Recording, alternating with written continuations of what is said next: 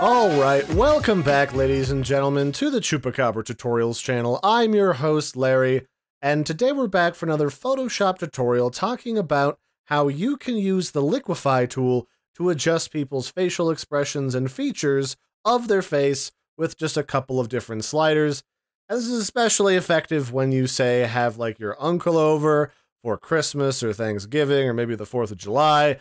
Everyone lines up, and let's say you know, he sneezed or something and wasn't quite smiling in the picture, and everything was kind of thrown off because of it, you can then use this tool to fix that in Photoshop before you send it out to all of your relatives. And also, in the case of this particular tutorial demonstration, our uncle is Tom Hanks.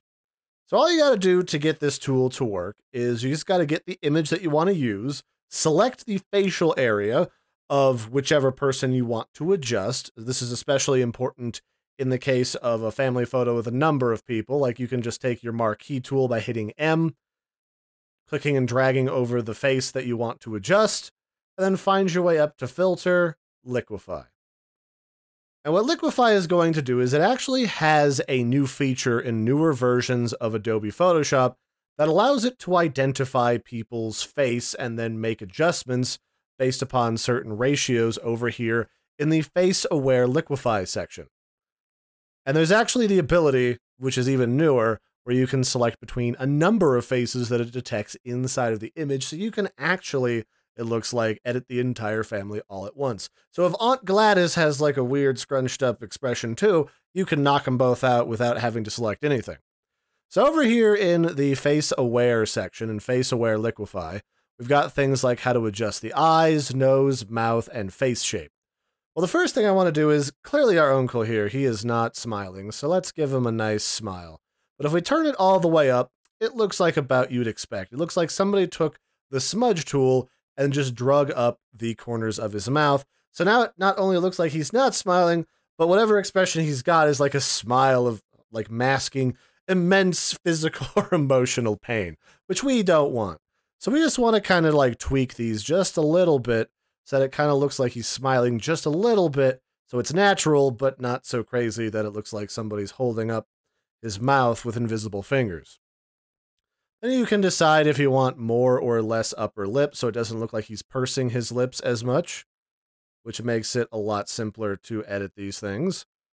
We can even make his mouth a little wider to the point where, again, we're starting to get into goof troop levels of smiling grin. And then we can stretch his mouth to make it just look bigger overall. Then let's say his eyes really aren't selling me. Like, come on, Uncle Uncle Tom Hanks, you, you you're clearly having way more fun at this at the family picnic than than you than you let on. Let's see if we can't adjust that as well. So let's go up to eyes. Eye size is pretty good, and I like to make sure when I do adjust eye size that I've got this little ratio button locked off so that I don't try to edit one eye at a time and end up with a bug-eyed frog monster. Can also adjust eye height so that the eyes are a little bit taller or wider as opposed to just adjusting the overall size. We can also add tilt with the eyes in case we want someone to look more Asian, less Asian, Maybe they look like they're squinting. This would be a good way to adjust for that, especially when they've got a pained expression on their face. And then we can change the distance on their eyes in case we're using, say, a funny focal lens on a camera, then we can fix those types of distortions right here. For the most part, if someone's expression is greatly uh, skewed from what you'd want, you'd probably have to either edit it manually with different tools or give up on that image all together and just let Uncle Tom look like he's having a really bad time. Likewise, this allows you to edit just about every portion of an image. You can edit the forehead, you can give them more chin, less chin, you can give the jaw more or less so they have like a narrow face versus a really heavy set, sort of fatter face. You can even increase the face width itself until they look like they've been stretched out on a panini. I suppose you could also use this to create a bunch of wacky, cartoonish looking characters if you also wanted to.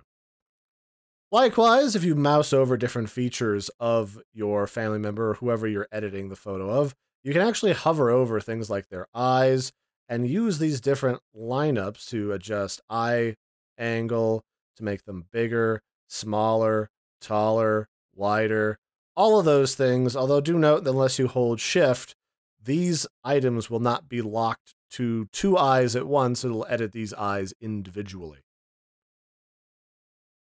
And if you want to just make like really goofy pictures, this is the way you'd want to do it, honestly.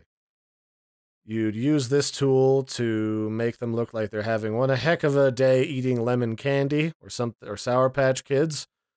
And then presto changeo bingo bingo, we've got some sort of bizarre creature that we've made. Sorry, Tom Hanks. It had to be done. People need to know how to use this tool. It's incredibly important for the survival of the human race. But yes, that is, in a nutshell, how you use the Liquify tool to adjust different facial features on people, because it automatically identifies their face. It's worth noting that if their expression is off enough, again, this isn't going to be a magic bullet to fix it. You'll either need like a, a standalone tool that you buy from another company or to edit it manually. That sort of stuff we'll have to cover in another tutorial. So that's it for this one. I just wanted to showcase how the Liquify tool face detection software works in Photoshop. And until next time, I've been your host, Larry. Don't forget to like and subscribe and throw your questions in the comments below, and I will catch you next time. If you're interested in learning more about Photoshop or just some other tutorials in general, I've got some more popping up here on the screen. Until next time, have a good one, everybody.